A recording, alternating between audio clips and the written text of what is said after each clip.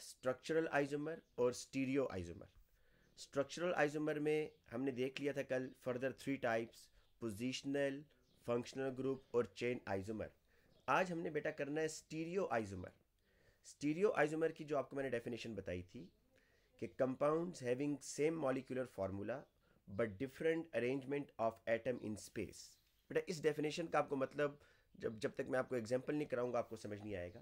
तो अभी हम बेटा स्टीरियो आइजोमर्स स्टीरियो आइजोमर्स। बेटा इसके आगे फर्दर दो टाइप्स हैं। एक है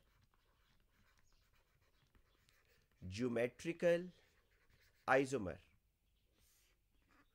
और दूसरी टाइप है बेटा ऑप्टिकल आइजोमर। अच्छा कि जो ज्योमेट्रिकल आइजोमर है ना, इसका बेटा एक और नाम भी है, ये भी आप लोगों ने याद रखना है cis trans isomer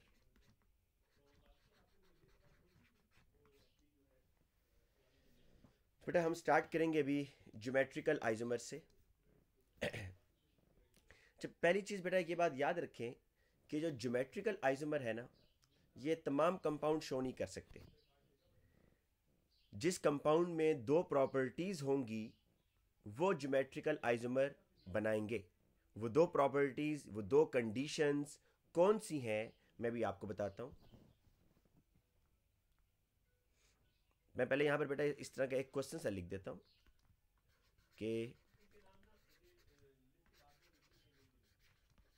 which type of compound?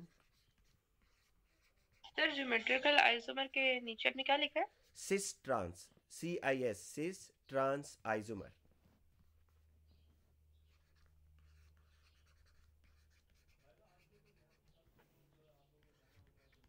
मैं बेटा यहाँ पर एक क्वेश्चन लिख लिया है कि which type of compound can show cis trans isomer तो दो कंडीशंस अगर किसी भी कंपाउंड में होंगी, वो आपको सिस ट्रांस आइसोमर बनाकर देगा।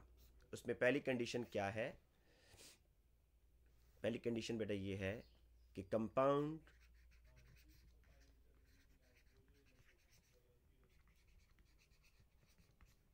must contain carbon carbon double bond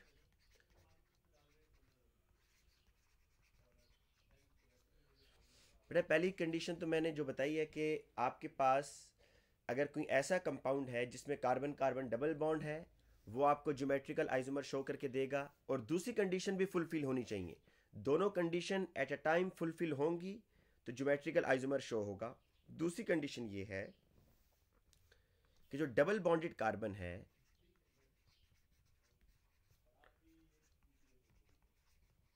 double bonded carbon ये कंडीशंस लिख लेंगे एग्ज़ाम में पूछता है आपसे।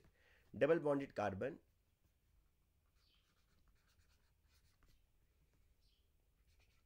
must has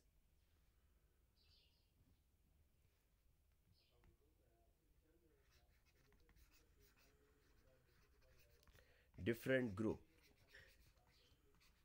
अब इसका क्या मतलब है भाई? इन दोनों कंडीशंस को मैं भी एग्जांपल से आपको बताता हूँ कि ये दोनों कंडीशंस मैंने आपको क्या बताई हैं। तो ये दो कंडीशंस हैं। जी। बेटा ये दो कंडीशंस हैं। अगर किसी भी कंपाउंड में ये दो कंडीशंस पूरी हो रही होंगी तो वो कंपाउंड आपको ज्योमेट्रिकल आइसोमर शो करके देगा। अब मैं आपको नीचे बताता हूँ बेटा यहाँ पर देखिएगा।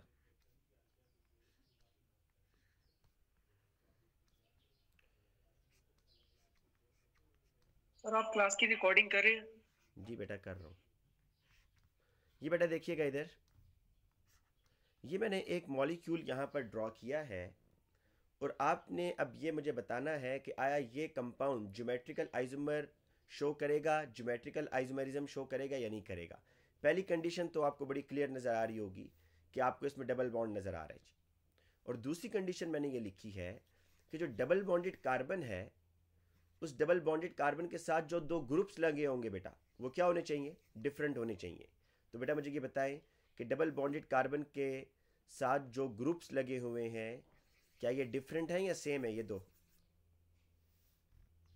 डिफरेंट डिफरेंट है। तो इसका क्या मतलब हुआ कि ये आपको सिस ट्रांस आइजोमर या ज्योमेट्रिकल आइजोमर शो करेगा।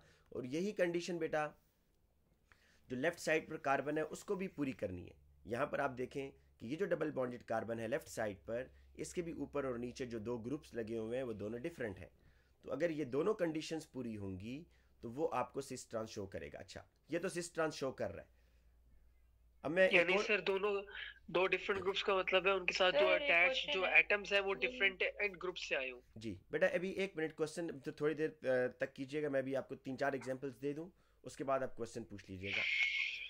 अच्छा बेटा इस तरह के जो कंपाउंड्स होंगे ना हम्म, इस हम्म। तरह के जो कंपाउंड्स होंगे जिसमें आपके पास डबल बॉन्ड जो है वो टर्म ये जो कंपाउंड है बेटा ये आपको सिस ट्रांस आइसोमर शो नहीं करेगा। कैसे? मैं भी आपको बताता हूँ। इसको अगर आप बेटा ज़रा डिस्प्लेट फॉर्मूला में लिखें, ऐसे करके।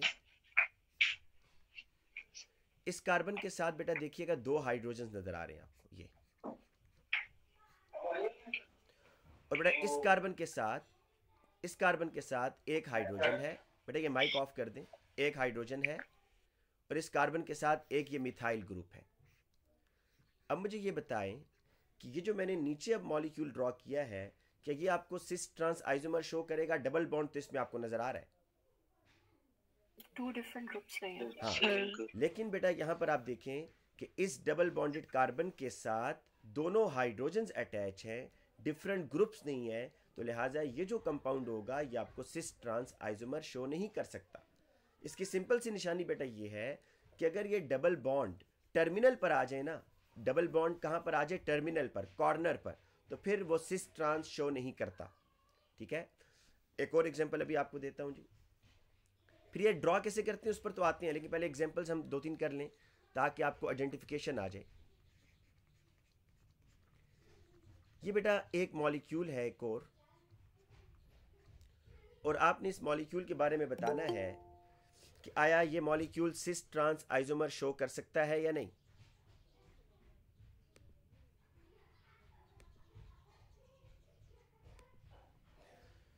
तो अब इस मॉलिक्यूल के लिए भी हम वही दो कंडीशंस बेटा देखेंगे कि आया इस मॉलिक्यूल के अंदर कार्बन कार्बन डबल बॉन्ड है और डबल बॉन्डेड कार्बन के साथ दो डिफरेंट ग्रुप्स अटैच हैं या नहीं है। तो बेटा इसको हम इस तरीके से चेक कर लें। ये जो बेटा एरिया ना ये कार्बन कार्बन डबल बॉन्ड पहले इसको ड्रॉ कर लेते हैं ये देखें।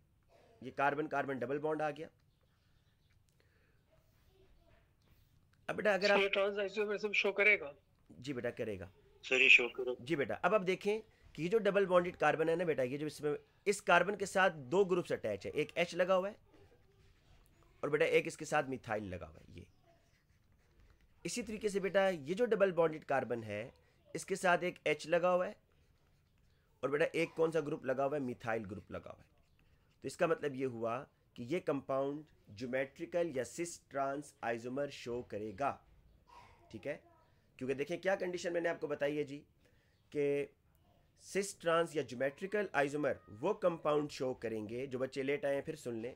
सिस ट्रांस और ज्योमेट्रिकल आइसोमर वो कंपाउंड शो करेंगे, जिनमें कार्बन कार्बन डबल बॉन्ड हो, पहली कंडीशन और जो डबल बॉन्डेड कार्बन है, उसके साथ दोनों ग्रुप्स डिफरेंट होने चाहिए।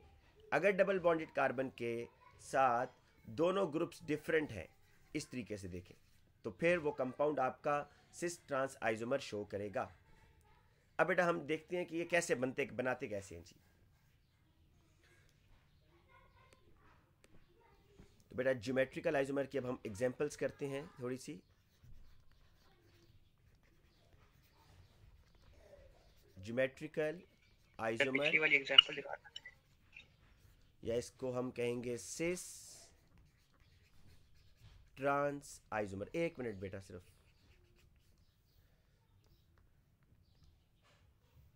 ये बेटा।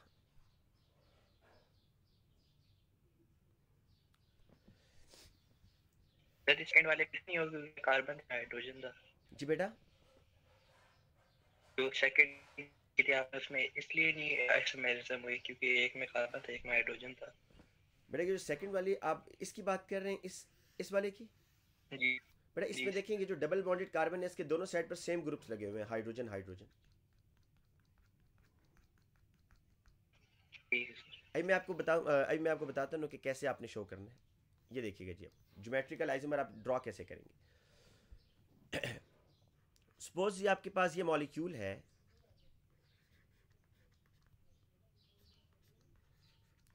और आपने इसका सिस ट्रांस आइजोमर ड्रॉ करना है ठीक है जी? कैसे ड्रॉ करेंगे? ये देखिए इधर। सबसे पहले बेटा मैं आसानी के लिए ना इसके ऊपर नंबरिंग कर देता हूँ तो आपको आपको थोड़ा आसान हो जाए। बट सबसे पहला काम ये किया करेंगे आप जब भी आपने सिस ट्रांस आइजोमर ड्रॉ करना होगा कि जो डबल बॉन्डेड कार्बन है पहले उसको ड्रॉ किया करें। मतलब कार्बन टू और कार्बन थ्री ये बेटा मैं कार्बन टू और कार्बन थ्री को ड्रॉ कर रहा हूँ यहाँ पर। अब बेटा आप में से मुझे कोई बता दे कि कार्बन टू के साथ कौन से दो ग्रुप लगे हुए हैं भाई? कार्बन टू के साथ। कार्बन एंड हाइड्रोजन यस तो आप इसको, मैं इसको आसानी आसानी के लिए इसको आप ऐसे भी बेटा कंसिडर कर सकते हैं, देखें। ये ऐसे है बेसिकली ऐसे। इसको भी थोड़ा सा स्ट्रक्चर इसका आसान कर देते हैं, ऐसे। तो अब आपको बेटा कनेक्टिविटी ज़्यादा अच्छी तरीके से समझ आ रही होगी कि कार्बन टू के साथ दो ग्रुप लगे हुए हैं। एक ये मिथाइल ग्रुप है और एक एच ग्रुप है। है ना बेटा? ऐसी बात है ना? और बेटा इसी तरीके से कार्बन थ्री के साथ भी आप देखेंगे आपको दो डिफरेंट ग्रुप नज़र आ रहे हैं। तो पहले मैं बेटा इस तरह करता हूँ। पहले मैं कार्बन टू के साथ, पहले मैं कार्बन टू के साथ जो दो ग्रुप लगे हुए हैं उनको लगाता हूँ जी। ये एक लगा हुआ है H और एक लगा हुआ है सी एच थ्री इसी तरीके से बेटा, कार्बन थ्री के साथ भी आपको दो डिफरेंट ग्रुप नज़र आ रहे हैं। एक H और एक सी एच थ्री तो बेटा मैं यहाँ पर लगा देता हूँ एक H और एक सी एच थ्री बेटा किसी को इस पर कोई मसला है स्ट्रक्चर पे? ये जो मैंने अभी ड्रॉ किया जी बेटा कोई इसमें प्रॉब्लम है? नो no, सर अब मैं क्या करता हूँ बेटा? अब देखिएगा। अब बड़े गौर से देखना आपने। बेटा, अगर मैं इस कार्बन को रोटेट करवाऊं, ठीक है, अगर मैं इसको ट्विस्ट करता हूँ, अभी आप देखें कि हाइड्रोजन ऊपर है और मिथाइल नीचे है। अगर मैं सिर्फ़ कार्बन टू की, सिर्फ़ कार्बन टू को रोटेट करवाता हूँ, इसका पाई बॉन्ड तोड़कर इसको रोटेट करवाऊं तो मिथाइल ऊपर आ जाएगा और एच नीचे आ जाएगा। तो आपके पास इस तरह का स्ट्रक्चर आएगा जी अब।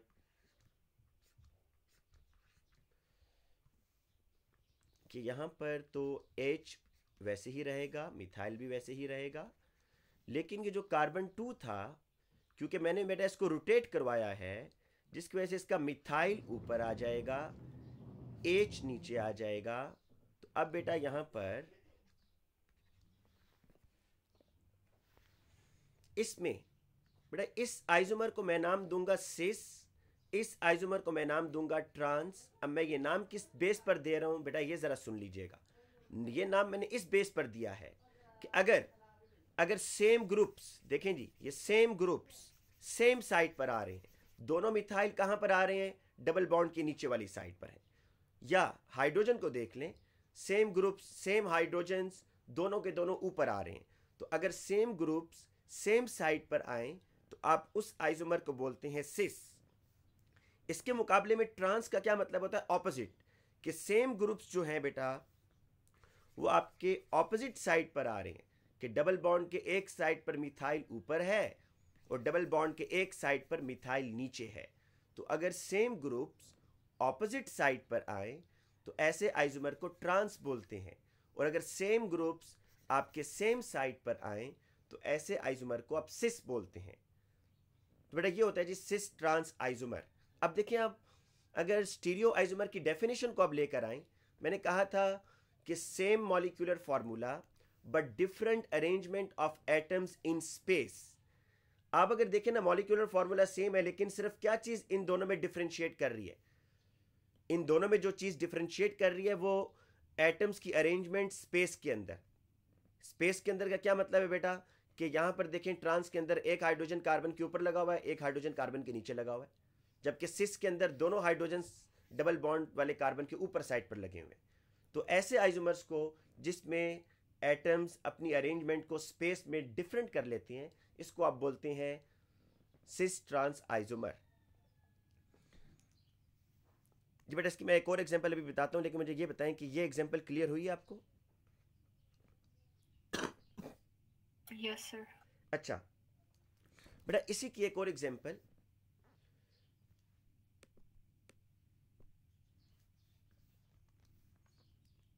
C H three C C L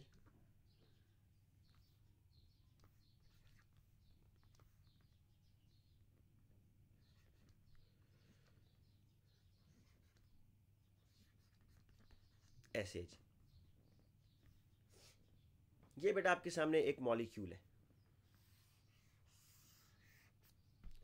आपसे कहा जाता है जी, इसका ज़रा बताएँ जी सिस ट्रांस इसका बनेगा या नहीं बनेगा। तो आप पता है क्या करें बेटा? ये जो क्लोरीन है ना आपको पता है ये तो कार्बन चेन के दरमियान में तो नहीं आएँगे ये तो कार्बन के ऊपर नीचे लगे होंगे। बेसिकली आपको कितने कार्बन नज़र आ रहे हैं? अगर अगर आप क्लोरीन्स को बेटा एक मिनट के लिए इग्नोर करें टोटल कितने कार्बन है इस चेन में? Four. फोर तो आप बेटा पहले इसको इस तरीके से ड्रॉ कर लें। थोड़ा आसान हो जाएगा स्ट्रक्चर ये एक मिथाइल है देन कार्बन है देन क्लोरीन है देन डबल बॉन्ड है देन क्लोरीन है देन मिथाइल है। देखें। सही हो गया बेटा? अब आपने बेटा इसका ज्योमेट्रिकल आइसोमर बनाना है। पहले वो दो कंडीशंस देखें कि आया ये ज्योमेट्रिकल आइसोमर बना भी सकता है या नहीं ये कंपाउंड डबल बॉन्ड है बिल्कुल है। क्या डबल बॉन्डेड कार्बन के दोनों साइड पर ग्रुप डिफरेंट है या सेम है?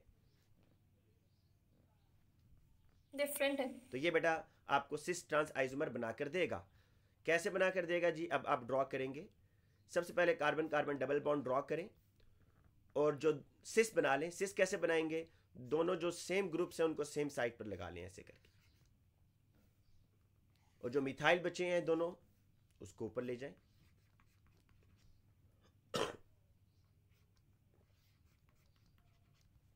तो बेटा ये जो अब आपका यहाँ पर आइसोमर है इसको क्या नाम देंगे? सिस या trans same group same side पर है। दोनों मिथाइल ऊपर? यस ये आपका सिस है। ट्रांस के लिए बेटा किसी एक कार्बन की पोजीशन को चेंज करना है, किसी एक कार्बन की पोजीशन को। मतलब ये जो आपका suppose carbon one carbon two carbon three carbon four आप कार्बन टू को चेंज कर दें बेटा। कार्बन टू को इस तरह अगर आप रोटेट करवाएँ तो आपके पास बेटा इस तरह बनेगा कि ये मिथाइल नीचे आ जाएगा क्लोरीन ऊपर आ जाएगा। और कार्बन थ्री को आपने ऐसे ही रखना है।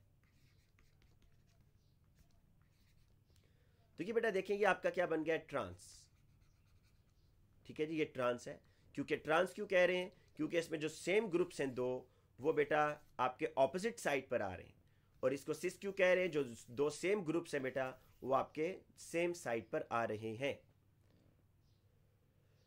अब अगर मैं आपसे जी बेटा। सर इस तरह जब हम uh, ये ज्योमेट्रिकल आइसोमेरिज्म करते हैं तो फिर इसके स्ट्रक्चरल फार्मूला पे कुछ असर पड़ता है?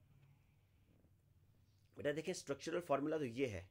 ये इसका स्ट्रक्चरल फार्मूला है, ऊपर जो हमने ड्रॉ किया हुआ स्ट्रक्चरल फार्मूला तो दोनों का सेम है। Different arrangement of atom in space different है। स्पेस के अंदर जो उनकी अरेंजमेंट है, वो डिफरेंट है बेटा। आप देखिए ना कनेक्टिविटी सेम है, आप यहाँ चेक करें। अब यहाँ पर चेक करें कि ये मिथाइल जो है C H three carbon two के साथ अटैच है बेटा। और यहाँ पर क्लोरीन भी कार्बन टू के साथ है। यहाँ पर चेक कर लें ये क्लोरीन और मिथाइल कार्बन टू के साथ कनेक्ट है। तो कनेक्टिविटी सेम है लेकिन arrangement of atom in space different है। एक में मिथाइल ऊपर है एक में मिथाइल नीचे है।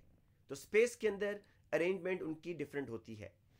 लेकिन कनेक्टिविटी सेम स्पेस का क्या मतलब है? है स्पेस का ये मतलब है कि सिस के अंदर आप देखो दोनों मिथाइल ऊपर है। ट्रांस के अंदर एक मिथाइल ऊपर है एक, एक, एक मिथाइल नीचे है। सही है सही ये समझ आ गई मैं पूछ रहा हूँ आप बोलते हैं इन स्पेस ये स्पेस की बात हो रही है। नहीं नहीं नहीं ये स्पेस का मतलब है कि बेटा ये जो एक में मिथाइल ऊपर आ रहा है एक में मिथाइल नीचे आ रहा है इसको वो कह रहा है। सही है सर। अच्छा बेटा अब आपने केमिकल बॉन्डिंग जी बेटा। सर आप ऐसे एग्जांपल दे सकते हैं इसमें कार्बन चेन्स लंबी हो। बिल्कुल मतलब ये मैं भी आपको देता हूँ बेटा मैं भी आपको देता हूँ। लेकिन उससे पहले मुझे ये बता दें कि इसमें बेटा पोलर कौन सा होगा नॉन पोलर कौन सा होगा? सिस और ट्रांस में। देखें इनमें फ़िज़िकल प्रॉपर्टीज़ डिफरेंट होती हैं। दिस में होगा मोस्ट लाइकली सिस क्या होगा बेटा? सिस आपका पोलर होगा और ट्रांस आपका नॉन पोलर होगा राइट जी सर ठीक है। अच्छा बेटा जो लंबी चेन है मैं भी आपको करा देता हूँ इसमें। C H three C H two C H double bond C H C H three अगर बेटा वो कहते हैं जी इसका बताएँ जी सिस ट्रांस बनेगा या नहीं बनेगा? तो आपने बेटा क्या करना है? सबसे पहले आपने कार्बन कार्बन डबल बॉन्ड वाले एरिया को देखना है ये। Carbon two and three. इसको बेटा आप यहाँ ड्रॉ करेंगे। सर बनेगा। बिल्कुल बनेगा। अब बेटा अगर आप कार्बन टू को देखें तो कार्बन टू के साथ एक एच है और एक मिथाइल है। और बेटा, अगर आप कार्बन थ्री को देखें तो कार्बन थ्री के साथ भी एक एच है और एक ये लंबी चेन है ईथाइल जिसको बोलेंगे ethyl C two H five भी लिख सकते हैं C H two C H three भी लिख सकते हैं। तो बेटा, ये जो आपका स्ट्रक्चर होगा दिस इज़ सिस दोनों हाइड्रोजन्स सेम साइड पर हैं। या आप ये कह दें कि अल्काइल ग्रुप इसको बेटा अल्काइल बोलते हैं ना मिथाइल और इथाइल तो जो अल्काइल फैमिली है, वो सेम साइड पर है। दोनों अल्काइल सेम साइड पर आ रहे इसका ट्रांस कैसे बनेगा बेटा? एक कार्बन को आप रोटेट करवा दें। इसको चलें, ऐसी रहने दें। ये ऐसी रहेगा। और यहाँ पर ये जो कार्बन है बेटा, इसको हम अगर मूव करवाते हैं C H two C H three और ये बेटा एच तो इसको हम बोलेंगे ट्रांस क्योंकि इसमें?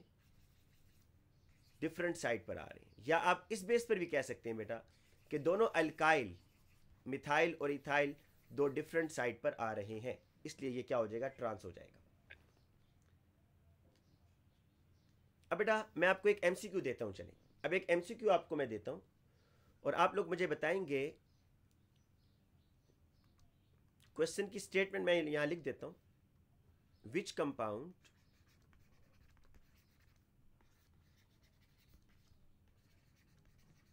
which compound exhibit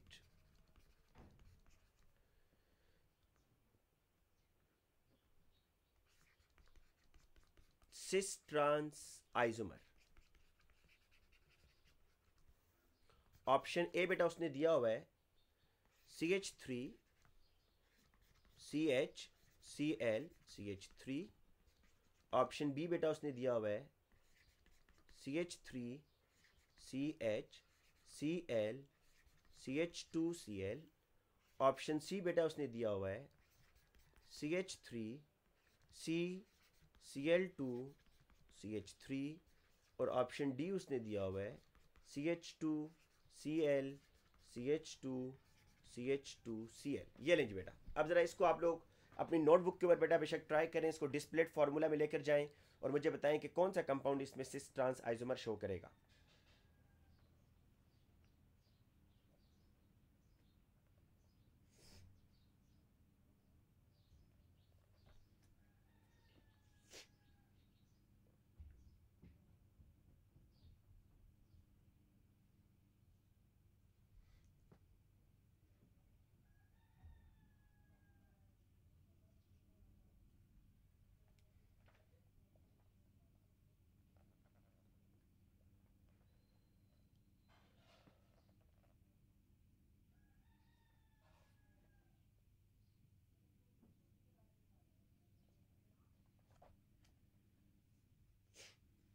बेटा ड्रॉ आप लोग कर रहे हैं या नहीं कर रहे?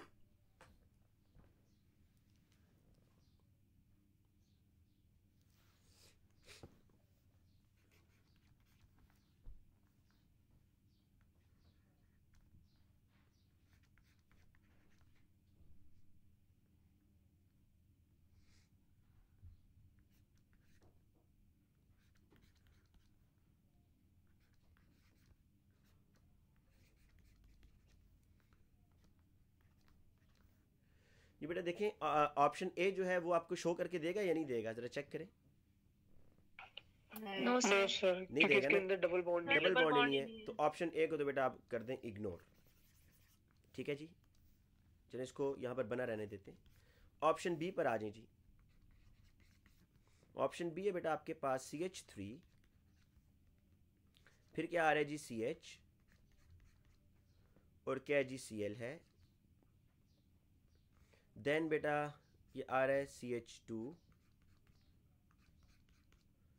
और ये सी एल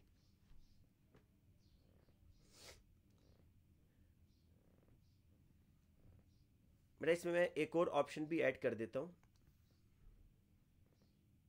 सर मुझे तो नहीं लग रहा है इनमें से कोई भी बनेगा। मैं एक और ऑप्शन बेटा इसमें ऐड ऐड ऐड कर रहा हूँ। एक और ऑप्शन भी ऐड कर रहा हूँ ठीक है?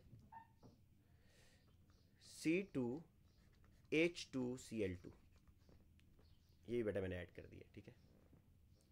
अच्छा। अब ज़रा बेटा कि देखें ऑप्शन बी को देख लें ज़रा। ऑप्शन बी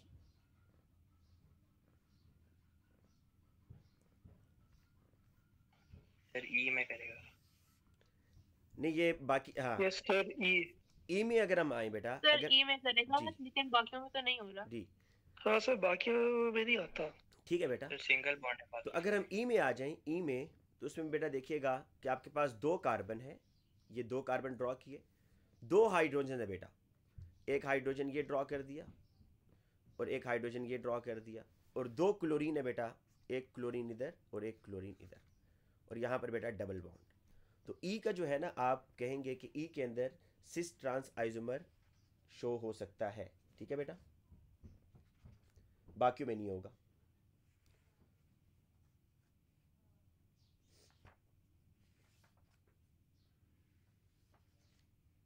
अच्छा मैं आपको एक और चीज़ बेटा बता दूँ।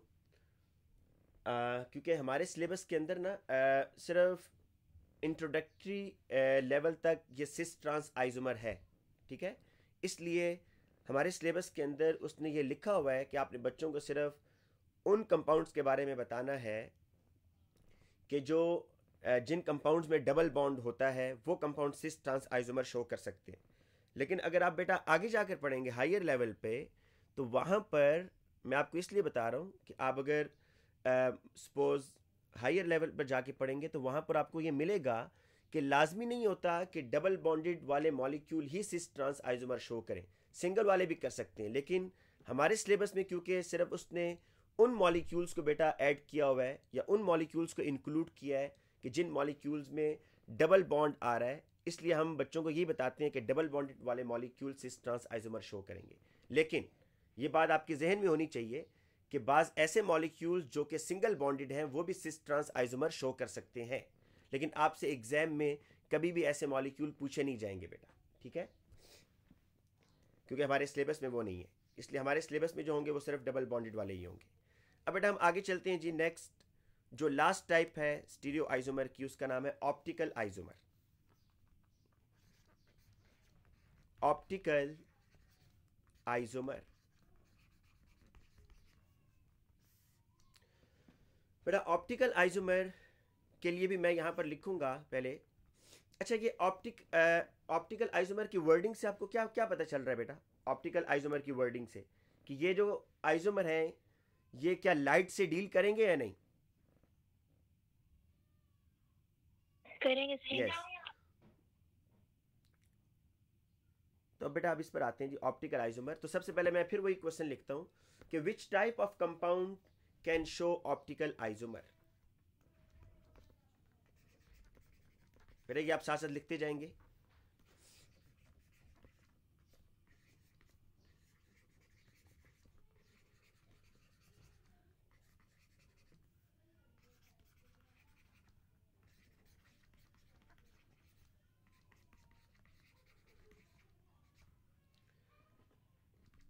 बेटा इसका आंसर ये है।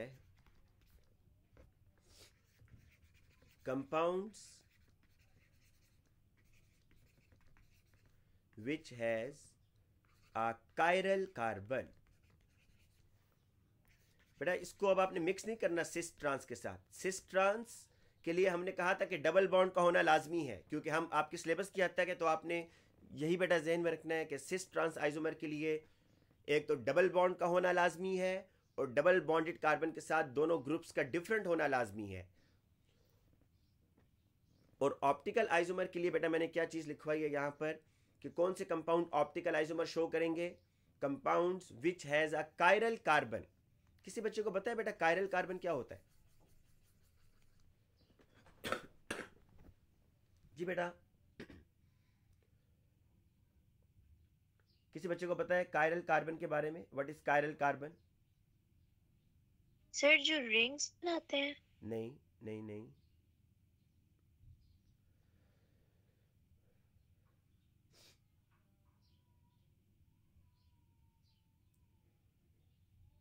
तो बेटा मैं आपको बता देता हूँ चले कायरल कार्बन यहाँ लिख देता हूँ व्हाट इज़ कायरल कार्बन आप नीचे एक और क्वेश्चन लिख लें।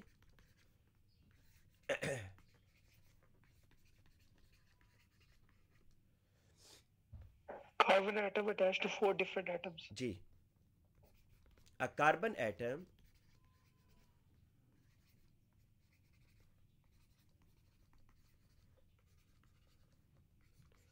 which has four different groups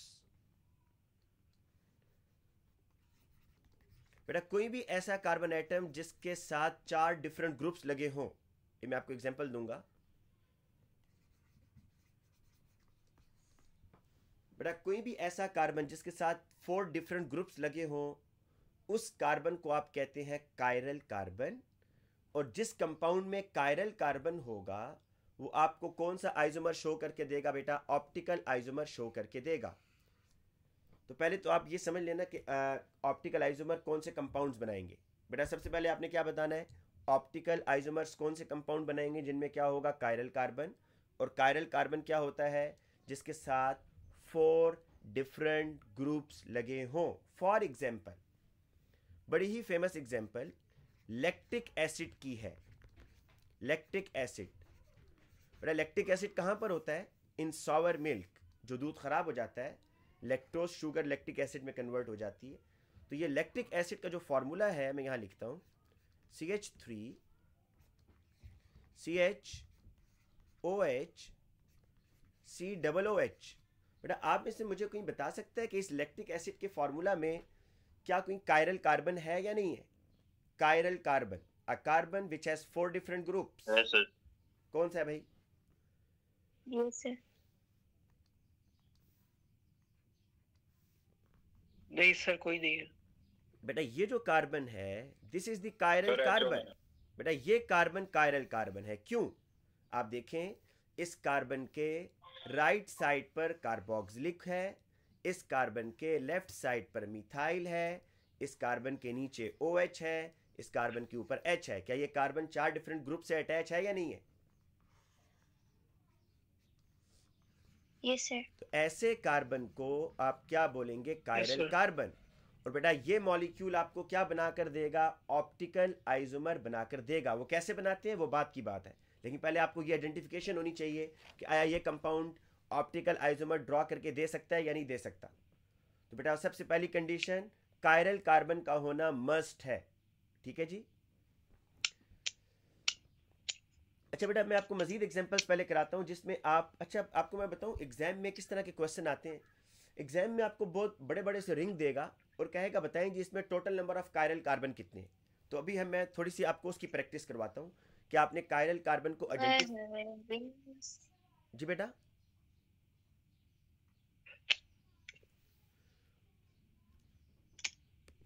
चले जी अब हम थोड़ी सी प्रैक्टिस करते हैं कायरल कार्बन की।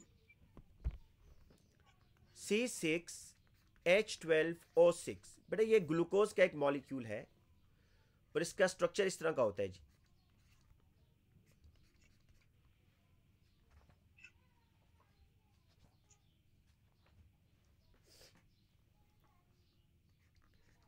हमने इसमें देखना होगा कि इसमें आया कोई कायरल कार्बन है या नहीं है। ये बेटा पास पेपर का क्वेश्चन है ठीक है?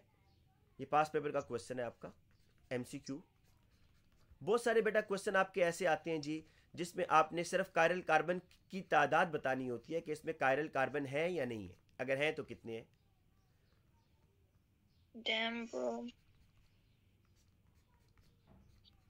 जी बेटा अब आपने ये बताना है कि इसमें चलो तुम्हारा माइक खुला है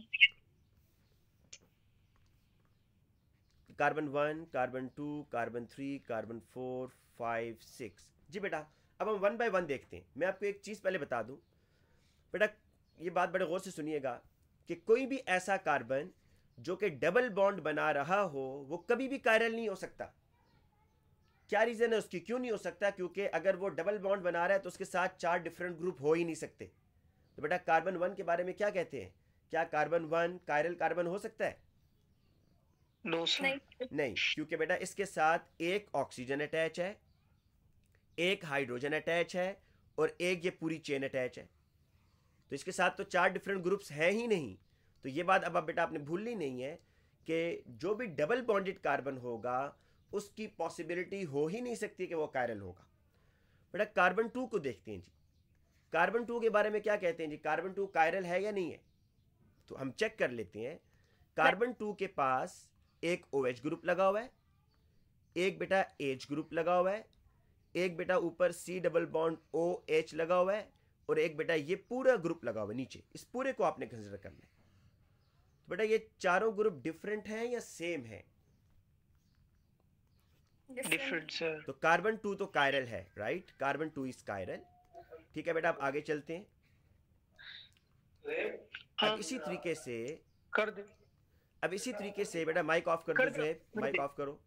कार्बन थ्री को देखें बेटा। कार्बन थ्री में कार्बन थ्री में बेटा आपने चेक करना है कि ये कायरल है या नहीं। तो कार्बन थ्री के साथ एक ओ OH ग्रुप लगा हुआ है। एक एच ग्रुप लगा हुआ है। एक बेटा ऊपर ये सारा आप सेलेक्ट करेंगे। ये ग्रुप लगा हुआ है और एक बेटा ये नीचे ग्रुप चेक कर लें कि आया ये चारों ग्रुप डिफरेंट है सेम है। डिफरेंट है। डिफरेंट है बेटा, ठीक है? तो इसलिए इसका मतलब ये हुआ कि जो कार्बन थ्री है, वो भी कायरल कार्बन है कायरल कार्बन अच्छा बेटा, आगे चलते हैं। कार्बन फोर पर आ जाए बेटा। कार्बन फोर को अगर आप देखें, एक ओ OH ग्रुप एक एच एक बेटा ये ग्रुप लगा हुआ है नीचे, और एक बेटा ये ऊपर ग्रुप लगा हुआ है। क्या क्या कहते हैं जी? सेम है डिफरेंट है? डिफरेंट तो कार्बन फोर भी कायरल है। अच्छा बेटा इसी तरीके से अगर आप कार्बन फाइव को बेटा देखें कार्बन फाइव कार्बन फाइव के साथ बेटा एक ओ OH लगा हुआ है। एक एच एक ये C H two O H और एक बेटा ये पूरी चेन ऊपर। हाँ जी बेटा कार्बन फाइव कायरल कायरल और इसी तरीके से बेटा अगर आप कार्बन नंबर सिक्स पर आ जाएँ तो कार्बन नंबर सिक्स के बारे में क्या कहते हैं भाई? नहीं है। कार्बन नंबर सिक्स कायरल नहीं है दो सेम ग्रुप्स लगे हुए तो बेटा आपसे जो एमसीक्यू उसने पूछा हुआ है ना आपसे ये स्ट्रक्चर आपको दिया हुआ है और ऑप्शन दिए हुए हैं। क्वेश्चन पूछा हुआ है कि how many chiral centres are present in this molecule option A दिया हुआ है वन ऑप्शन बी दिया हुआ है उसने टू ऑप्शन सी दिया हुआ है उसने फोर और ऑप्शन डी उसने दिया हुआ है फाइव क्या क्या कह रहे हो बेटा? सर हमें उन्होंने स्ट्रक्चर नहीं बना के दिया होगा या फिर बना स्ट्रक्चर दिया हुआ है बेटा स्ट्रक्चर बना के दिया हुआ है। स्ट्रक्चर उसने बना के दिया हुआ है बिल्कुल। सर ये सी सिक्स क्यों नहीं है कायरल बेटा सी सिक्स में देखो दोनों हाइड्रोजन नहीं लगे हुए सेम ग्रुप लगे हुए हैं या नहीं? ठीक है सर कायरल कार्बन में बेटा कंडीशन क्या होती है? कि सारे ग्रुप्स क्या होने चाहिए? डिफरेंट होने चाहिए। ठीक है बेटा?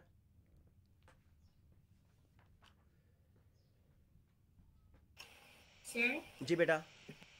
सर जो डबल बॉन्ड वाली बात बता रहे थे वो कार्बन एटम्स के बिटवीन था या जो कार्बन और ऑक्सीजन में भी तरह यहाँ पर डबल नहीं मैं ये कह रहा था कि अगर बेटा अगर कार्बन कोई डबल बॉन्ड बना रहा है ना चाहे वो जिस मर्ज़ी के साथ बनाओ बना रहा हो, ऑक्सीजन के साथ या किसी और आइटम के साथ, लेकिन अगर कार्बन डबल बॉन्ड बना रहा है तो वो कभी भी कायरल नहीं हो सकता। उसकी रीज़न ये है कि बेटा डबल बॉन्ड बनाने के बाद वो कार्बन फिर चार डिफरेंट ग्रुप के साथ कनेक्ट नहीं हो सकता, वो तीन के साथ कनेक्ट होगा। आप कार्बन वन की एग्ज़ाम्पल देखें। कार्बन वन कितने आइटम्स के साथ कनेक्ट है? एक हाइड्रोजन के साथ, एक ऑक्सीजन के साथ और एक नीचे इसके साथ। तो कार्बन वन जो है, तीन आइटम के साथ कनेक्ट है या चार आइटम्स के साथ कनेक्ट है? जी बेटा बताएँ जरा। तीन के साथ। रीजन यही है ना बेटा कि वो डबल बॉन्ड बना रहा है। तो जब भी कोई कार्बन डबल बॉन्ड बनाए तो वो कभी भी कायरल नहीं हो सकता। ठीक है बेटा? अच्छा बेटा अब मैं आता हूँ थोड़ी सी मुश्किल एग्जांपल्स के ऊपर भी। फिर मैं आपको बताऊँगा कि ऑप्टिकल आइसोमर ड्रॉ कैसे करते हैं। ऑप्टिकल आइसोमर ड्रॉ करना बड़ा आसान काम है बेटा मुश्किल नहीं है ये। बिल्कुल आसान है।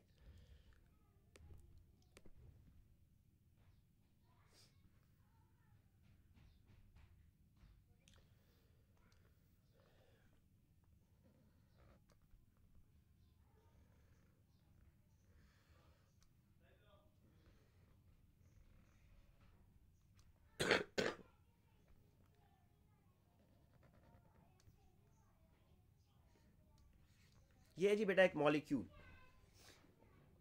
और इस मॉलिक्यूल में वो आपसे पूछ रहा है कि ये बताएँ कि इसमें कायरल कार्बन कोई है या नहीं है। ये हमने बेटा बताना है। वैसे आप लोग पहले कोशिश करें ना इसका डिस्प्लेट फॉर्म इसका जो है स्ट्रक्चरल फार्मूला या जो, ये जो स्केलेटल है ना बेटा, इसको कन्वर्ट करें ज़रा, आम फार्मूला के अंदर, जिसमें कार्बन हाइड्रोजन आप मेंशन करें। और फिर आप बताएँ कि आया इसमें कोई कायरल कार्बन है या नहीं है।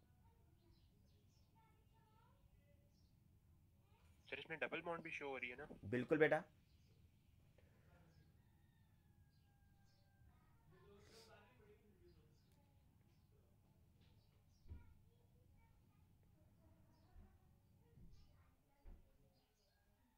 अच्छा बेटा, मैं अगर इसको इस तरीके से चले, थोड़ी आपकी हेल्प करता हूँ। आसानी के लिए मैं पहले इसका यहाँ पर ना इस तरह का स्ट्रक्चर बनाता हूँ ताकि आप लोग थोड़ा सा इसको इस तरीके से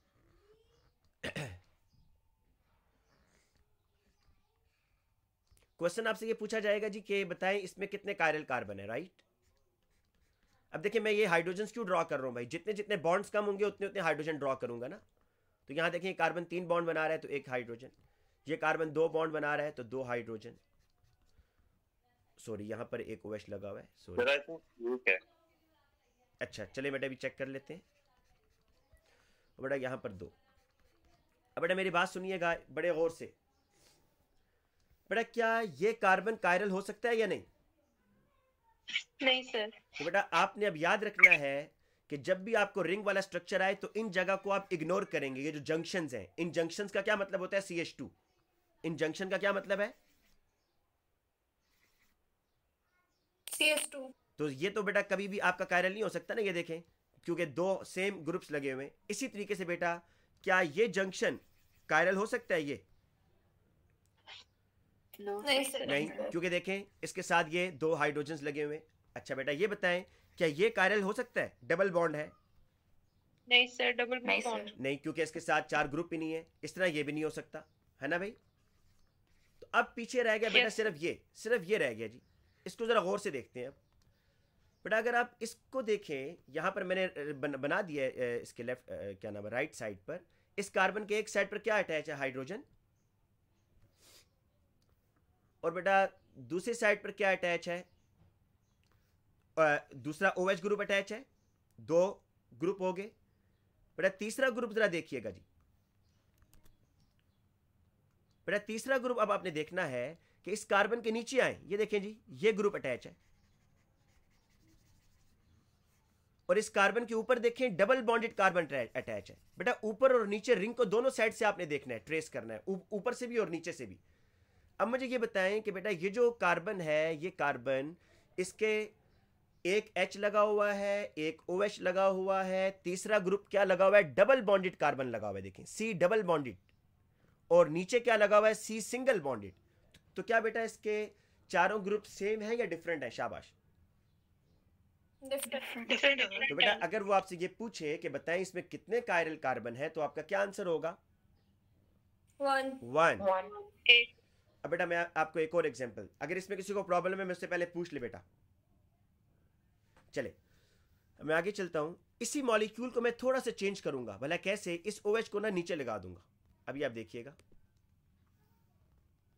अभी अभी ये बड़ा इंटरेस्टिंग हो जाएगा बेटा। ये मैं इसको अब आपने मुझे कायरल कार्बन बताने हैं कि कितने कार्बन इसमें ऐसे हैं जो फोर डिफरेंट ग्रुप के साथ अटैच है। ये, और इस दफ़ा मैंने बेटा ओ OH ऐसे लगा दिए जी। वैसे तो मैंने अभी आपको बेटा बता दिया है कि ये जो होते हैं ना जंक्शंस इनको तो देखने की ज़रूरत ही नहीं होती। ये कायरल हो ही नहीं सकते। ना ही डबल बॉन्डेड कार्बन कायरल हो सकते हैं। लेकिन फिर भी मैं आपकी आसानी के लिए, क्योंकि अभी हम स्टार्टिंग में है बिल्कुल, मैं इसको फिर भी ड्रॉ कर देता हूँ इधर। देखिएगा ज़रा।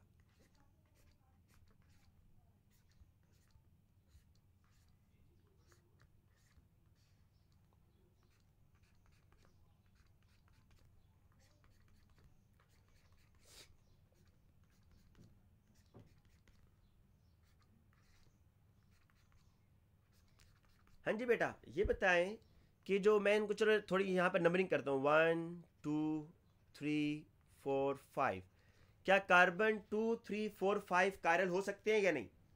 टू थ्री फोर फाइव नहीं। बिल्कुल नहीं हो सकते। नहीं सर तो लिहाजा इनको तो हम सर थ्री और फोर तो हो ही सकते हैं। क्या? थ्री फोर फाइव हो सकते क्या क्या हो सकता है बेटा? सर थ्री और फोर तो इस सर थ्री और फोर नहीं हो सकते डबल बॉन्ड है। और टू और फाइव के दरमियान दो सिमिलर दो सेम ग्रुप्स हैं हाइड्रोजन के तो इस वजह से वो दोनों अच्छा बेटा अब हम ठीक है अब हम बेटा देखते हैं कार्बन वन को। अगर हम कार्बन वन को देखें तो इसके साथ एक एच लगा हुआ है एक ओ OH लगा हुआ है ये तो हो गए डिफरेंट लेकिन बेटा अब अब आपने बिट्स ऑफ़ रिंग देखने हैं। राइट साइड पर जरा इस रिंग को ट्रेस करें। कार्बन वन के राइट साइड पर कौन सा ग्रुप लगा हुआ है? CH2 CH2 और बेटा कार्बन वन के लेफ़्ट साइड पर कौन सा ग्रुप लगा हुआ है? CH2 ये तो सेम है। तो ये ये एक मिनट एक मिनट बेटा ये सेम है। एक स्टेप आगे जाकर देखते हैं क्या डिफरेंट हो रहे हैं या नहीं हो रहे। सी एच टू से आगे जाएँ. क्या ग्रुप लगा हुआ है? CH सी एच और बेटा अब इस लेफ़्ट साइड पर कार्बन फाइव से आगे जाकर देखें कौन सा ग्रुप लगा हुआ है। CH तो क्या ये राइट और लेफ़्ट पर सेम ग्रुप्स आ रहे हैं या नहीं आ रहे? जी सर। तो क्या कहते हैं जी कोई भी कार्बन कोई भी कार्बन अब कायरल नहीं है। इसमें अब कोई भी कार्बन कायरल नहीं है क्योंकि इसके पास फोर डिफरेंट ग्रुप्स नहीं है। बेटा ये चीज़ मैं फिर आपको बताता हूँ कि थोड़ी सी इंपॉर्टेंट है। यहाँ पर आपने जब साइड पर जाकर देखना है ना तो अगर एक स्टेप सेम होगा तो आप आगे जाकर देखेंगे। ये नहीं देखेंगे यहाँ सेम है तो बस ठीक है नहीं। आप एक स्टेप और आगे जाकर देखें कि आया फिर भी सेम है या नहीं। अगर फिर सेम है फिर आगे जाकर चेक करें। आप चेक करते जाएँगे आगे। अगर तो सेम निकल आएँगे तो फिर आप कहेंगे कि अब ये कायरल नहीं है। देखिए, ये दोनों साइड पर सेम निकल आए तो इसलिए इस कंपाउंड के अंदर आपके पास कोई भी कायरल कार्बन नहीं है। ठीक है बेटा? अब मैं आपके सामने एक और रिंग बेटा बनाता हूँ, और फिर आपने मुझे बताना होगा जी इसमें। फिर मैं आपको बताऊँगा ऑप्टिकल आइसोमर ड्रॉ कैसे करते हैं। वो तो आसान काम है ड्रॉ करना, लेकिन मुश्किल काम यह है कि आपको आइडेंटिफिकेशन आनी चाहिए कि आपने कायरल कार्बन को आइडेंटिफाई कैसे करना है।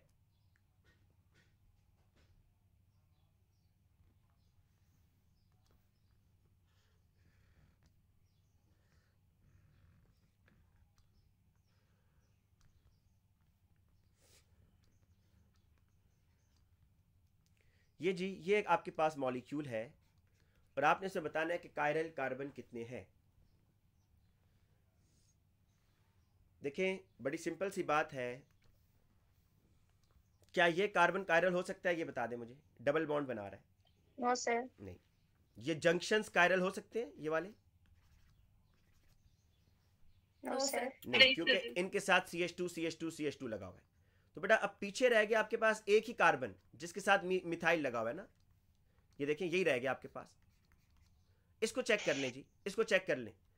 इस कार्बन के एक साइड पर मिथाइल लगा हुआ है, एक साइड पर एच अच्छा ऊपर की तरफ़ क्या लगा हुआ है? सी एच टू और इस साइड पर क्या सॉरी सी एच टू और बेटा, इस साइड पर क्या लगा हुआ है? सी एच टू अगर सेम है तो आगे फॉरवर्ड जाएँ। बेटा सी एच टू से आगे क्या लगा हुआ है? सी डबल बॉन्ड ओ और यहाँ सी एच टू से आगे क्या लगा हुआ है? सी एच टू तो क्या कहते हैं भाई इस कार्बन के बारे में?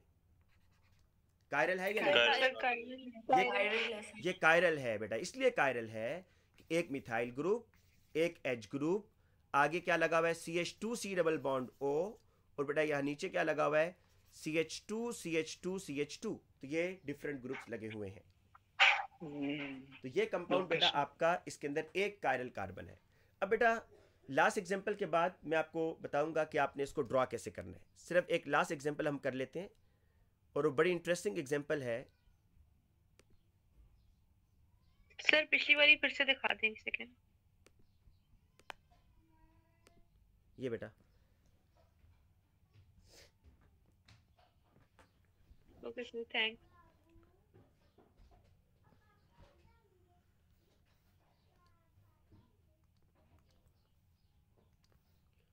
बेटा ये जो मैं भी एग्ज़ाम्पल ड्रॉ कर रहा हूँ, ये आप लोग मेरे साथ ड्रॉ करेंगे अपने नोटबुक पर, क्योंकि ये एग्ज़ाम में बार बार पूछता है बेटा।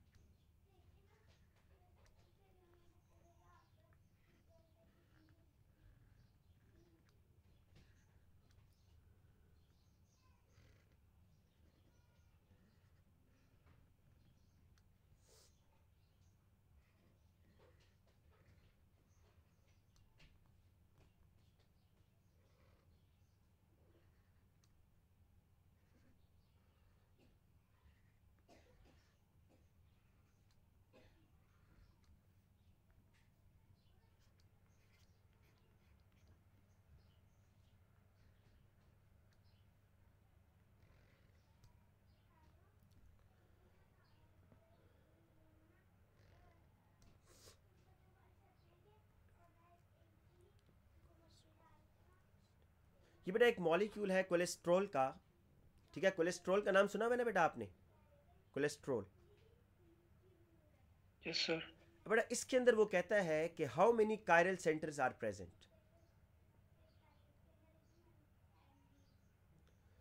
बेटा कायरल सेंटर आपने बताने हैं कितने? चले मैं आसानी के लिए मैं आसानी के लिए बेटा मार्क करता हूँ। आपने बताना है कि इन अच्छा पहले हम इस तरह करते हैं बेटा कुछ कुछ कार्बन को तो एलिमिनेट करते हैं। मैं आपसे पूछते रहता हूँ। इधर दे, देखें बेटा एक मिनट के लिए ज़रा। आपको मैं थोड़ी चीज़ें यहाँ पर बताता हूँ। ये जो आपके पास कॉर्नर्स आ रहे हैं इन कॉर्नर का मतलब होता है सी एच थ्री ये ये ये बात सबको पता है या नहीं पता? ये सी एच थ्री होती हैं जी। ये जो कॉर्नर है ये ये ये सी एच थ्री है ये सी एच थ्री है ये सी एच थ्री है। बेटा ये जो जंक्शन आ रहे हैं इन, इन जंक्शन का क्या मतलब होता है? सी एच टू ना? जी बेटा बताएँ मुझे। जी सर ये सब सी एच टू है। तो अब मुझे आपने ये बताना है कि ये जंक्शंस क्या ये कायरल हो सकता है जी? ये ये ये ये जो मैं येलो कलर से शेड कर रहा हूँ क्या ये कायरल हो सकते हैं? इनके चांसेस हैं कायरल होने के? नो तो इनको तो आपने देखना ही नहीं। यस इनको तो आपने देखना भी नहीं है। बेसिकली आपने वो CH3 के जो CH3 के जो बीच में जंक्शंस है बेटा उस उस पे आ रहे हैं अभी। उस पर तो मैंने मार्क नहीं किया ना। मैंने तो इनको मार्क किया है, जो सिर्फ़ सी एच टू बना रहे हैं। अब बेटा, मैं अब यहाँ पर करता हूँ नंबरिंग ठीक है? और आपने मुझे बताना होगा कि ये जो मैंने नंबरिंग की है, आया ये कार्बन स्कायरल है या नहीं है? इस कार्बन के बारे में कार्बन नंबर वन इस कार्बन टू के बारे में आपने मुझे बताना है। इस कार्बन थ्री के बारे में आपने मुझे बताना है। फोर के बारे में बताना है, इस कार्बन फाइव के बारे में बताना है कि ये कायरल है या नहीं है सिक्स के बारे में, इस कार्बन सेवन के बारे में, इस कार्बन एट के बारे में और इस कार्बन नाइन के बारे में। अच्छा बेटा वन बाय वन चलते हैं जी। सबसे पहले कार्बन वन को देखते हैं। क्या कहते हैं जी इस कार्बन वन के बारे में? इज़ इट कायरल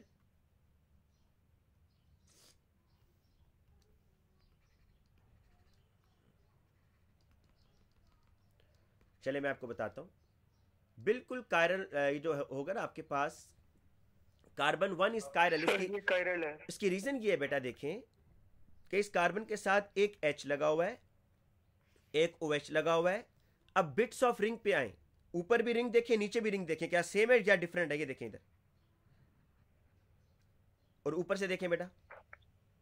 डिफरेंट हो है। डिफरेंट है क्योंकि नीचे डबल बॉन्ड भी आ रहा है ऊपर नहीं आ रहा डबल बॉन्ड तो इसलिए आपका कार्बन वन तो कायरल है।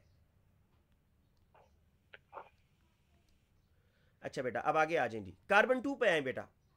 Carbon two. कार्बन टू में देखें आपके पास एक क्या लगा हुआ है? मिथाइल ग्रुप लगा हुआ है ना बेटा ऊपर? और इस साइड पर अच्छा बेटा इस साइड पर क्या अच्छा मुझे ये बताएँ कार्बन टू के साथ कोई एच है या नहीं है? ये बता दें। कार्बन टू के साथ एच हो सकता है या नहीं?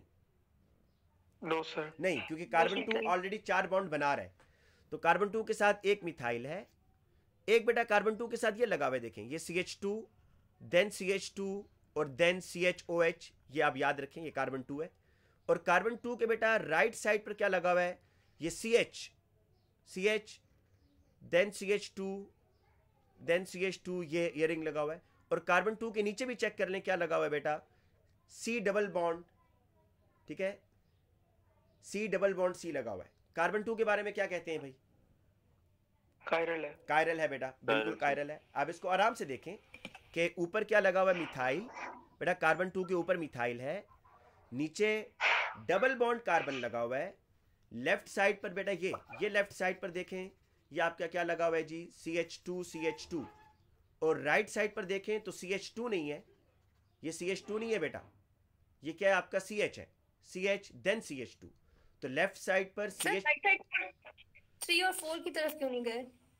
वहाँ बेटा वहाँ चले जाए और वहाँ जाके देख लें। कार्बन टू के डायरेक्ट साथ सी एच टू लगा हुआ है ना तो अब यहाँ यहाँ पर देख लें। तो कार्बन टू के राइट साइड पर क्या लगा हुआ है? सी एच टू लगा हुआ है या सी एच लगा हुआ है? सी एच लगा हुआ है ना बेटा? जी सर ठीक है। अच्छा अब आगे चलते हैं जी। सर मिथाइल गिवन क्वेश्चन में। हाँ बेटा इस इस तरह था ना इस तरह था। मिथाइल मैंने आपके समझने के लिए लिखा है। ऐसे था ये।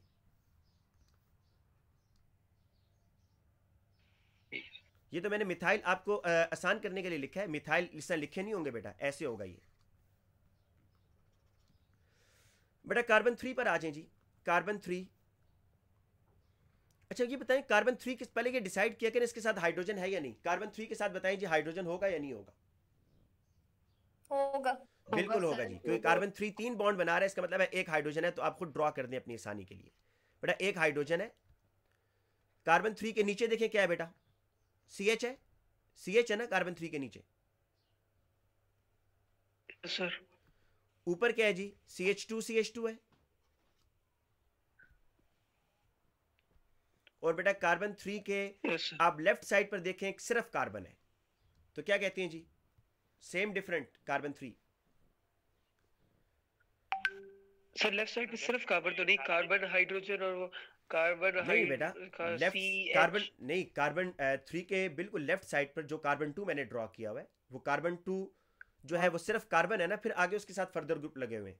जबकि कार्बन थ्री के नीचे आओ कार्बन फोर की बात कर रहा हूँ तो उस कार्बन के साथ हाइड्रोजन भी लगा हुआ है जबकि कार्बन टू के साथ डायरेक्टली हाइड्रोजन अटैच नहीं है। तो मतलब डायरेक्टली हाइड्रोजन अटैच नहीं है। किसके साथ बेटा? क्या मतलब इस बात का कि वो डायरेक्टली हाइड्रोजन अटैच नहीं है? बेटा मैं ये कह रहा हूँ कार्बन टू में मैं- चारों बॉन्ड पूरे हो रहे हैं। मैं ये देख मैं ये बता रहा हूँ बेटा कि कार्बन थ्री से अगर आप नीचे आओ ना कार्बन फोर की तरफ़ तो कार्बन फोर जो है उसके साथ क्या हाइड्रोजन लगा हुआ है या नहीं लगा हुआ कार्बन फोर के साथ? आ, सर उसके साथ हाइड्रोजन हाँ लगा हुआ है। ठीक है। अब कार्बन थ्री से बेटा है। कार्बन टू की तरफ़ आओ क्या कार्बन टू पर हाइड्रोजन लगा हुआ है? हाँ सर एक नहीं लगा लगा हुआ है नहीं लगा हुआ। अच्छा वो चारों बॉन्ड्स आपने बनाए मैं उस कार्बन थ्री के साथ जो हाइड्रोजन नहीं लगा हुआ। तो ये दोनों ग्रुप डिफरेंट हो गए ना? फोर और टू दोनों डिफरेंट हो, हो चुके हैं या नहीं? हो चुके हैं। और ऊपर बेटा जाओ तो सी एच टू लगा हुआ है तो क्या ये भी डिफरेंट है या नहीं? है सर। तो कार्बन थ्री भी बेटा क्या होगा? आपका कायरल होगा। ठीक है जी? सर इसमें एक एक चीज़ मुझे गेस करने तकरीबन सारे ही मेरे ख्याल से कायरल हैं। बेटा ये आप लोग खुद चेक कीजिएगा। मैं सिर्फ़ आपको एक बता देता हूँ जो कायरल नहीं है ठीक है? आप सही कह रहे हैं सारे कायरल हैं। कार्बन नाइन के बारे में बताएँ मुझे बेटा बस कार्बन नाइन के बारे में। सो वो हो ही नहीं सकता दोनों एंड्स पे वेल डन बेटा बिल्कुल ठीक है। बिल्कुल ठीक है बेटा। जो कार्बन नाइन है वो आपका कायरल इसलिए नहीं है कि उसके साथ एक एच लगा हुआ है एक ये पूरी चेन लगी हुई है लेकिन दो ग्रुप सेम लगे हुए हैं, इसकी वजह से कार्बन नाइन आपका कायरल नहीं है। बस अब एक मिनट की बात रहेगी, उसके बाद हम क्लास खत्म करते हैं। बट अब आपको ये तो पता चल गया ना कि कायरल कार्बन क्या होता है, जिसके साथ फोर डिफरेंट ग्रुप्स लगे हों, और आपको एग्ज़ाम में ये क्वेश्चन बहुत दफ़ा आएँगे कि बड़े बड़े मॉलिक्यूल देकर पूछा जाएगा कि इसमें कायरल कार्बन कितने हैं। अब बेटा कायरल कार्बन आइजोमर कैसे बनाते हैं, उस पर आ जाए। सपोज़ वो आपसे कहता है कि draw the optical isomer of two hydroxy propanoic acid अब बेटा, ये जो मॉलिक्यूल है ना, ये मैंने भी आपके सामने ड्रॉ किया था। ये ऐसे होता है जी। C H three O H H N C double O H ये बेटा देखें, ये तीन कार्बन की चेन है, इसको बोलते हैं प्रोपानोइक एसिड। ये तीन कार्बन की चेन है ना दिस इज़ प्रोपानोइक एसिड। और कार्बन नंबर टू पर, कार्बन नंबर टू पर बेटा ओ OH लगा हुआ है, जिसकी वजह से इसने उसको नाम दिया है टू हाइड्रोक्सी प्रोपानोइक एसिड। और वो आपसे ये कह रहा है कि draw the optical isomer of two hydroxy propanoic acid बेटा आपने इसका आइजोमर कैसे ड्रॉ करना है? ये देखिएगा जी। थ्री के अंदर, पहली चीज़ तो याद रखें, जब भी ऑप्टिकल आइजोमर ड्रॉ करेंगे, आप थ्री के अंदर बेटा ड्रॉ करेंगे थ्री डायमेंशन के अंदर। तो और थ्री डायमेंशन के अंदर ड्रॉ करने का आपको मैंने तरीका बताया हुआ है कि आप थ्री डायमेंशन में जब भी ड्रॉ करेंगे तो आपने प्लेन लाइन वेज और डॉटेड लाइन को यूज़ करना है, ठीक है? तो अब मैं इस कार्बन को बेटा यहाँ पर कायरल कार्बन कहूँगा ना, क्योंकि इसके साथ चार डिफरेंट ग्रुप्स हैं। तो बेटा ये कार्बन आ गया इधर। इस कार्बन के एक साइड पर एच लगा हुआ है, ये। दूसरे साइड पर बेटा सी डबल एच लगा हुआ है, ये आ गया।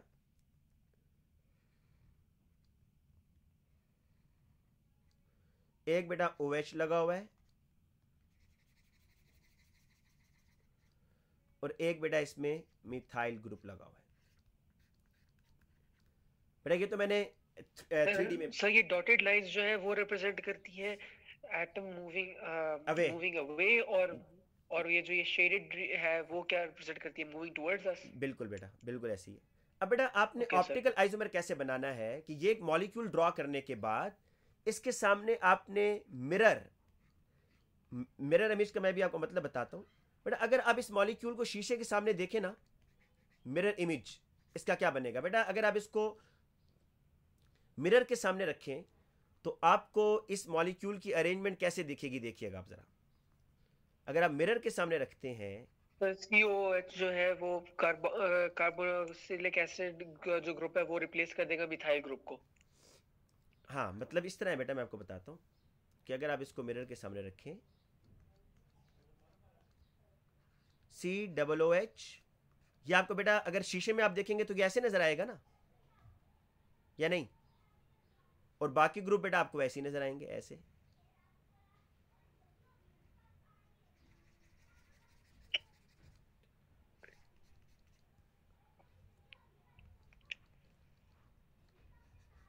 मुझे बेटा पहले ये बताएँ कि अगर मैं इस मॉलिक्यूल को मिरर के सामने रखता हूँ तो क्या आपको ये इमेज नज़र आएगा मिरर के साम के अंदर या नहीं? यस सर अच्छा। अब, ये तो बेटा है, इसको बोलते हैं ऑप्टिकल आइजोमर लेकिन इसको आप डिफाइन कैसे करेंगे, है क्या? बेटा, अब मैं आपको एक एग्जांपल पहले देता हूँ। ये भाई आपने बड़े गौर से सुनना है। ऑप्टिकल आइजोमर की मैं भी यहाँ पर डेफिनेशन भी आपको बताऊँगा। और ये बात भी जेन में रखें कि आपको, आपके सिलेबस में रिंग मॉलिक्यूल्स जो है ना, उनका आपने मिरर इमेज कभी नहीं बनाना। वो आपके सिलेबस में नहीं है कि रिंग मॉलिक्यूल का मिरर इमेज कैसे बनेगा? नहीं। आपको जो दिए जाएँगे इस तरह जो ओपन चेन मॉलिक्यूल होते हैं उनके मिरर इमेज आपने बनाने होते हैं। अब बेटा मैं आपसे ये पूछता हूँ कि अगर आप इस मॉलिक्यूल को ये जो मॉलिक्यूल ए है मैं इसको मॉलिक्यूल ए कह देता हूँ इसको मॉलिक्यूल बी बट अगर आप इस मॉलिक्यूल ए को सर जी बेटा। आप रिंग मॉलिक्यूल जब बोलते हैं वो उसमें मैं कंफ्यूज होता हूँ साइक्लो और उसमें। साइ- जो साइक्लो मॉलिक्यूल होते हैं वही होते हैं रिंग बेटा। ठीक सर ये सेम ही चीज़ है बिल्कुल। जी साइक्लो और हाँ। रिंग सेम चीज़ है साइक्लो और रिंग सेम है। ठीक है अच्छा बेटा ये जो ऑप्टिकल आइजोमर है ना मैं पहले इसकी डेफिनेशन लिखता हूँ फिर आपको बताता हूँ कि मैंने क्या लिखा है। व्हाट इज़ ऑप्टिकल आइजोमर ये एग्ज़ाम में डेफिनेशन आ जाती है। तो आप बताएँगे non superimposable mirror images non super superimposable mirror images are called optical isomer. बेटा मुझे ये बताएँ मैं अगर इस ए मॉलिक्यूल बेटा मुझे थोड़ा सा भी एक्सप्लेन करने दे फिर आपसे मैं क्वेश्चन आपके सुनता हूँ। अगर मैं इस ए मॉलिक्यूल को उठाकर बी मॉलिक्यूल के ऊपर रख दूँ तो क्या ये सुपर इम्पोजिबल होगा या नहीं होगा? अच्छा अब पहले सुपर इम्पोजिबल का मतलब मैं आपको समझा देता हूँ कि सुपर इम्पोजिबल का क्या मतलब है। बट ये डायग्राम ज़रा देखिएगा। ये डायग्राम देखिए आपको नज़र आ रही है? बेटा ये डायग्राम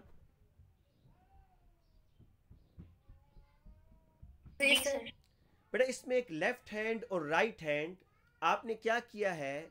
आपने राइट हैंड को लेफ़्ट हैंड के ऊपर रखा है। तो ये जब आप अपने राइट हैंड को लेफ़्ट हैंड के ऊपर रखेंगे तो क्या बेटा आपकी जो फिंगर्स हैं मतलब थम थम के ऊपर आएगा इंडेक्स फिंगर इंडेक्स फिंगर के ऊपर आएगी या नहीं आएगी डायग्राम देखकर बताएँ नहीं सर नहीं आ रही तो इसको क्या बोलते हैं नॉन सुपर इम्पोजिबल कि आपकी जो फिंगर्स हैं वो एक दू, एक दूसरे फिंगर्स के एक जैसे फिंगर्स के ऊपर नहीं आ रही इनको कहते हैं नॉन सुपर इम्पोजिबल अभी इसी तरीके से बेटा आपने मुझे बताना है यहाँ पर कि ये जो मॉलिक्यूल दिखा दें जी बेटा डेफिनेशन दिखा दें सर बेटा एक मिनट डेफिनेशन अभी एक मिनट। अब मुझे ये बताएँ बेटा कि ये मॉलिक्यूल ए जो है मैं अगर इसको उठाकर मॉलिक्यूल बी के ऊपर रखता हूँ तो मुझे ये बताएँ क्या एक जैसे ग्रुप एक दूसरे के ऊपर नीचे आएँगे या नहीं आएँगे?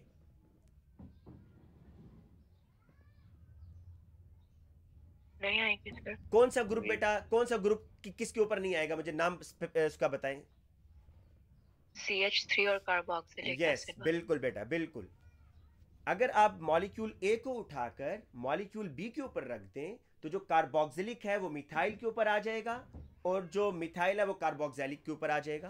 तो ये है non super imposable mirror images इनको क्या कहते हैं बेटा? Optical isomer non superimposable mirror images को क्या बोलते हैं बेटा?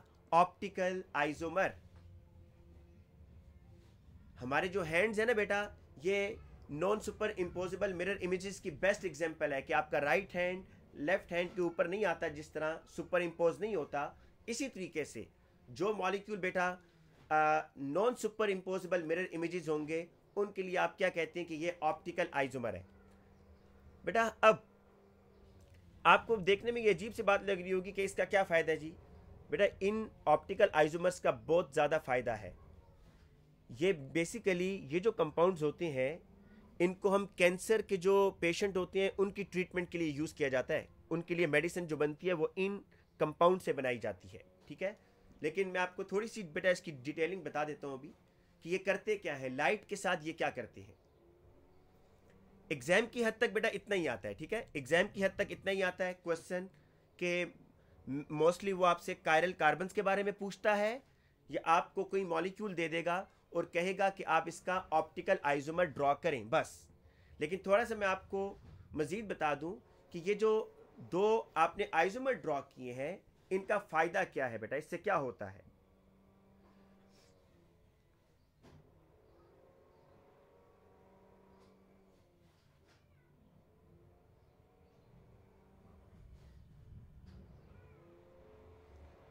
अच्छा बेटा यहाँ पर बेटा मैं एक एक दो पॉइंट्स लिखता हूँ, उसको आप लिख लीजिएगा।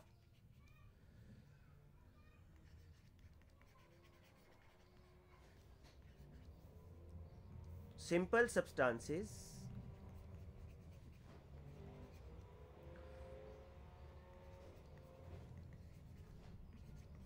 which show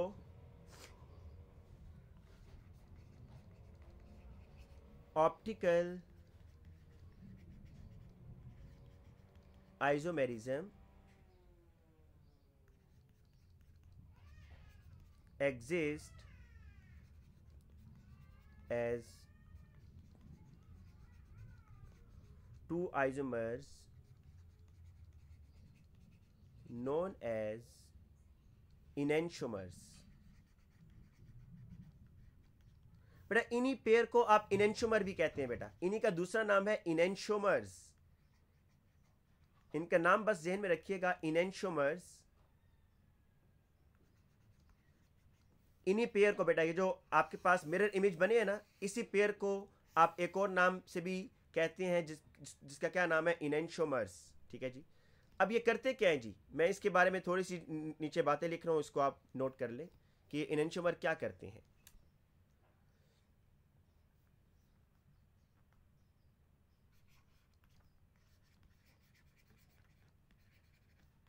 A solution of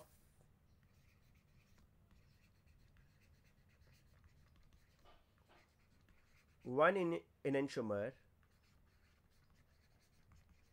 rotates the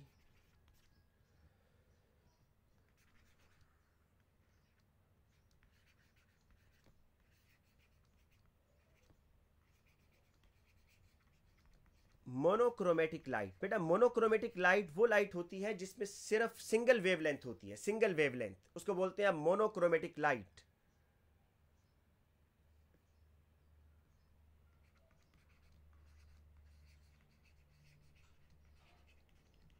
in a clockwise direction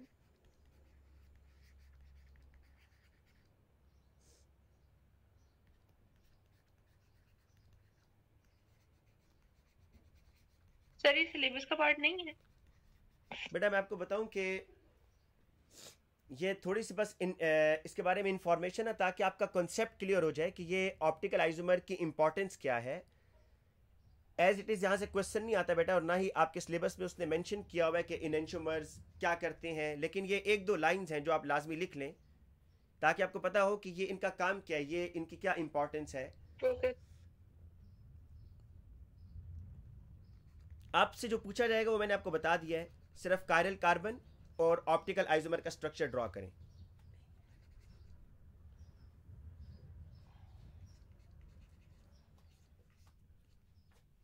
बड़ा एक और लाइन बस मैं आपको लिखवा रहा हूँ, फिर इसको क्लास ख़त्म करते हैं।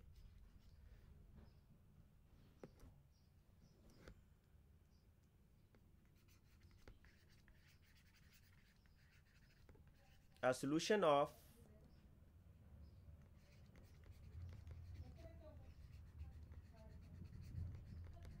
other enantiomer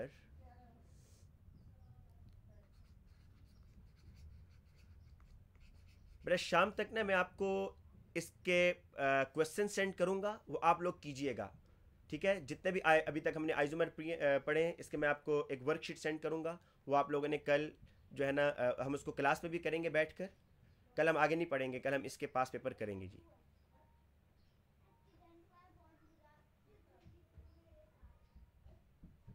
हाँ सर पास रुपए से एक चीज़ याद आई।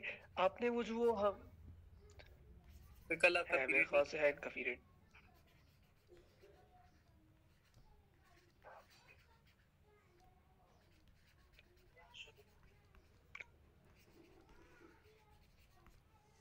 सर जी बेटा।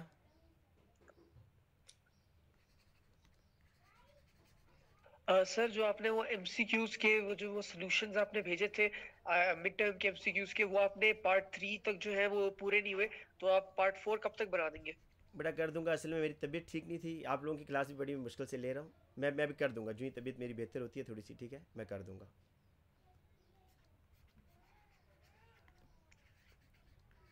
मैं मैं उसको ना कोशिश करूँगा आज शाम को कर दूँ।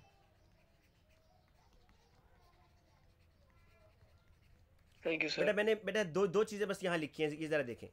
मैंने कहा है कि ये जो आपके पास दो ऊपर ऑप्टिकल आइजोमर्स मैंने ड्रॉ किए हैं ना ये ऑप्टिकल आइजोमर पता है क्या करते हैं? जब आप इसके ऊपर कोई मोनोक्रोमेटिक लाइट को फॉल करवाएँगे तो ये इस मोनोक्रोमेटिक लाइट को अपने अंदर से पास नहीं होने देंगे। एक जो आइजोमर होगा वो वो वो लाइट को क्या करेगा?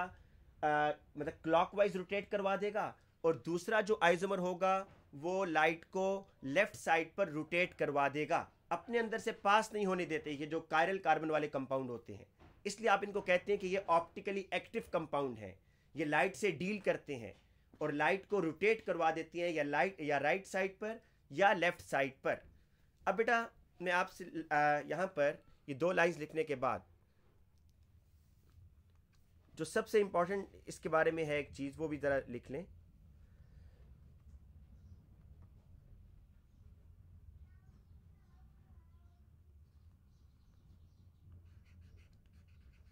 When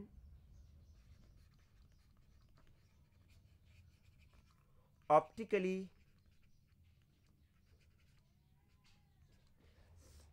एक्टिव सब्सटेंसेस बेटा ऑप्टिकली एक्टिव सब्सटेंसेस का मतलब ये होता है जिनमें कायरल कार्बन हो, ठीक है, जो लाइट से डील करे। Are made in the lab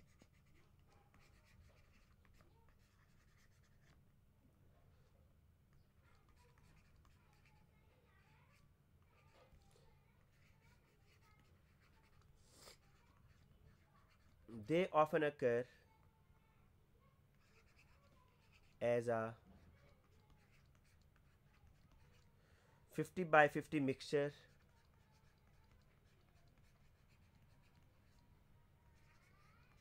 of two enantiomers.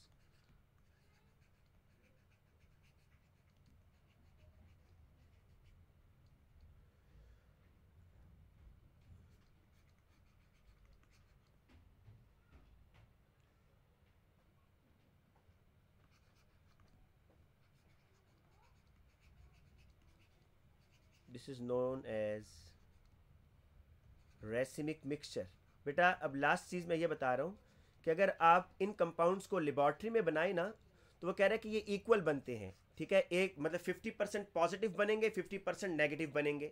अब मुझे आप लोग ये आंसर दें कि अगर आप इसको लेबॉर्ट्री में ऑप्टिकली एक्टिव कंपाउंड बनाते हैं और वो आपके पास फिफ्टी परसेंट पॉजिटिव बनते हैं और फिफ्टी परसेंट नेगेटिव बनते हैं तो मुझे ये बताएँ कि फिर उसका मोनोक्रोमेटिक लाइट पर इफ़ेक्ट होगा या नहीं होगा?